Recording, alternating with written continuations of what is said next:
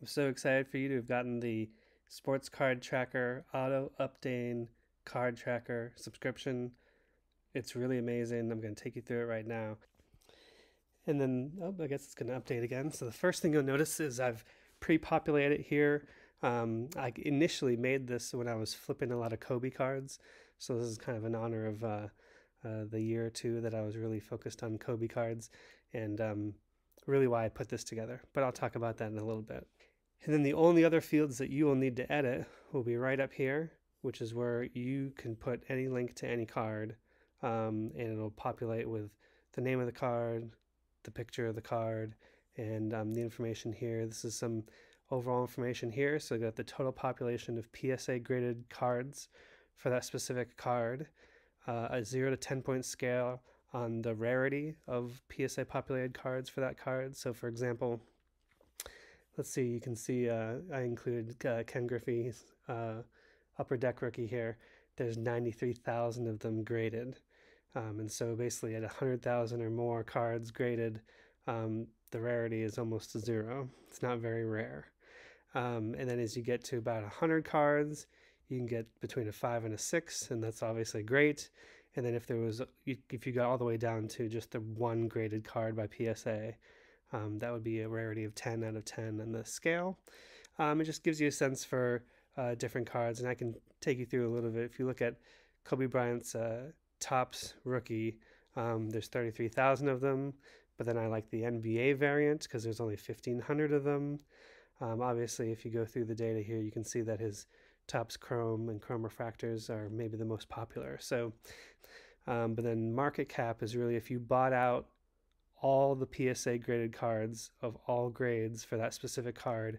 For example, the Topps Chrome would cost you $11 million um, to buy all the cards out there for all the different values. And that's a real good way to notice, like, you know, the most kind of most valuable or most popular card that there's the most demand for is this Topps Chrome Refractor.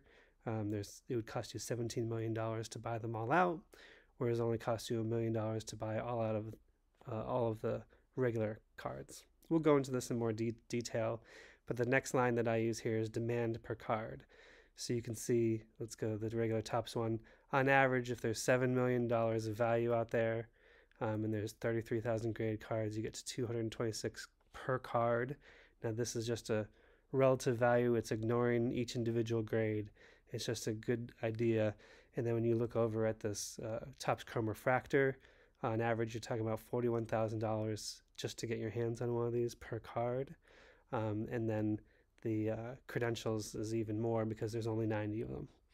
So this is a good way to put all of Kobe Bryant's rookies on a page. You can do this for any player you want um, and so forth. But you can really get a sense for um, where's the heat, where most people looking for uh, the where the cards that are most in demand to find which one is their rookie and invest in that. I'll probably make more videos on that, and I didn't mean to go too far off track here uh, as you're just getting your sheet, but really wanted to show you what I, I've added into the sheet here for you. the next section here is the uh, current auction values of cards that have sold by PSA grade. So you got PSA 10, 9, 8, 7, 6, 5, 4, 3, 2, 1, and so forth and then the values here.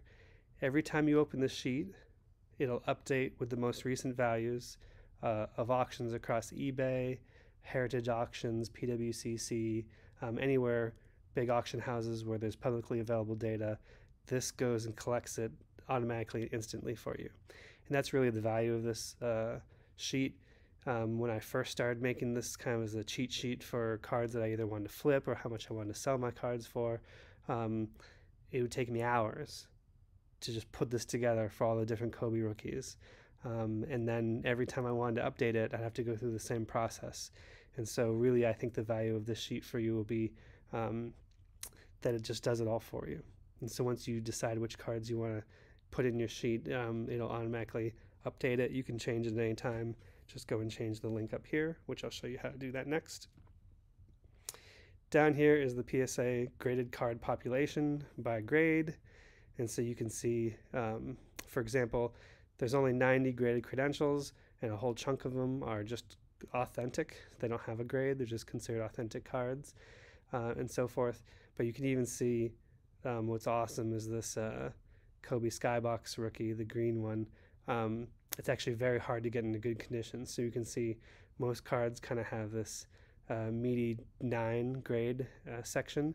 You know, 65% of the Topps Chrome cards that are graded are nine. Um, you can see actually more cards are an eight than anything else of this one, and a 10 is so, so, so rare.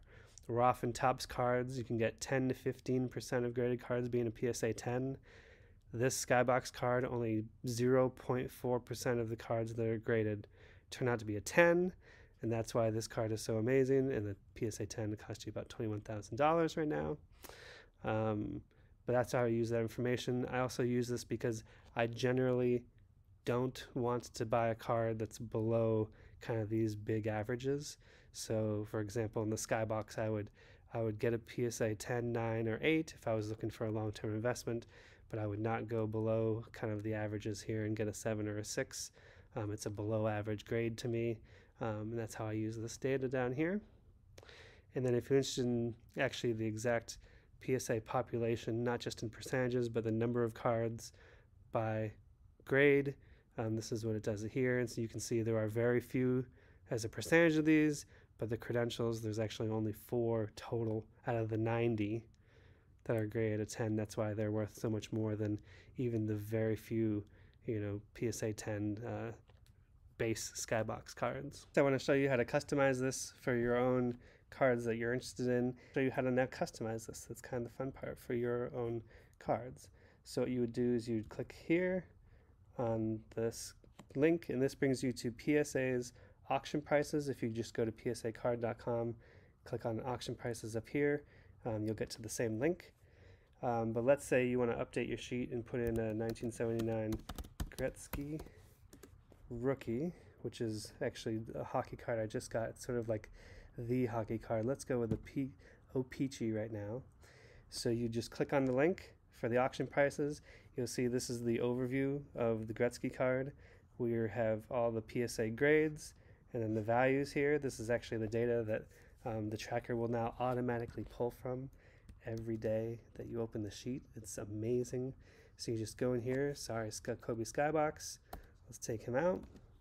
Let's put in uh, Gretzky and just give it a minute. You'll see now the 1979 O-Pee-Chee Wayne Gretzky is pulled in. You can also see that there's $43 million uh, of value in all the cards of Gretzky's cards. Um, I'm super pumped up to have just gotten one of them myself. Um, but that's how fast the tracker upgrade updates. And now if you leave that link in here, um, every day it'll be on your list. And again, if you want to go back and add another one, you just go. Come on, PSA. Thank you. Now we're going to go to the 1979 Topps Wayne Gretzky card. And again, here's the data. Um, but this one's instead of his more rare O-Pee-Chee card. This is the Topps one, so I'll just grab the link here, paste it into Sorry Kobe here, and so forth, and then just give that a minute, and it'll automatically populate with the data. Sometimes I do think the sheet is magic, um, but again, go ahead and you can put in all the cards you want. If you want to make an entire sheet of Julio Rodriguez or Yordan Alvarez cards to look at, um, go for it if you want to put in the most valuable cards in baseball or if you have cards in your collection and you just want to track their value. Um, this is a great tool to do all that.